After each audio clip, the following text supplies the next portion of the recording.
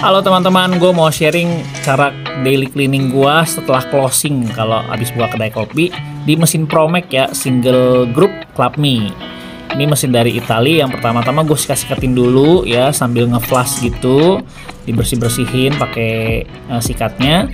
Lalu siapin rubber yang buat uh, back flush ya. Ini fungsinya buat menahan tekanan supaya nggak keluar biar ada pressure balik lagi gitu namanya back flush ya atau juga kalau di mesin lain mungkin pakai uh, blind porta.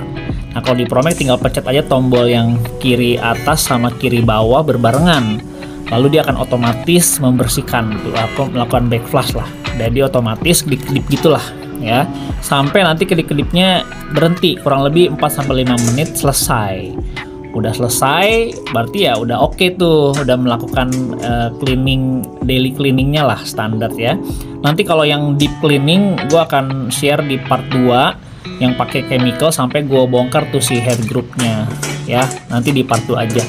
Nah udah selesai lu keringin si traynya lu bersihin bilas-bilas pasang lagi terus ya udah deh tinggal lu matiin aja si mesin gitu buat ngosongin si pressure yang ada di dalam boiler ya.